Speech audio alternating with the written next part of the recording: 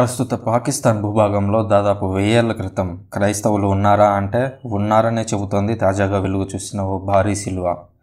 రెండు వేల ఇరవై జూన్ పద్నాలుగున స్కర్దు దగ్గరలోని కవర్దో గ్రామం వద్ద పురాతత్వ శాస్త్రవేత్తలు జరిపిన తవ్వకాల్లో ఈ భారీ సిలువ బయటపడింది.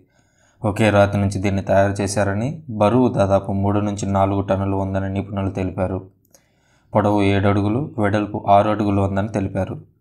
స్కర్దులోని యూనివర్సిటీ ఆఫ్ బల్టిస్టాన్కు చెందిన డాక్టర్ మొహమ్మద్ నయీద్ ఖాన్ నేతృత్వంలోని నిపుణుల బృందం ఈ శిలువను కనుగొన్నారు. బుద్ధిజం అంతరిస్తున్న కాలంలో ఈ శిలువను చెక్కి ఉంటారని భావిస్తున్నట్లు ఆయన వెల్లడించారు.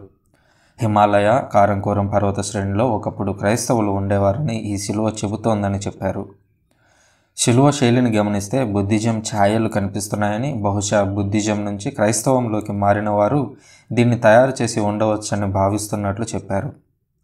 బల్టిస్తాన్ పరిసర ప్రాంతాల్లో ఇలాంటి పురాతన శిలువ బయటపడడం ఇదే మొదటిసారి అని పేర్కొన్నారు. క్రీస్తు శిష్యుల్లో ఒకరైన థామస్ ఇండియాకు వచ్చిన సంగతి తెలిసిందే. థామస్ నాడు నెలకొల్పిన శిలువల్లాగే ఇది కనిపిస్తోందంటూ పరిశోధకులు వివరించారు.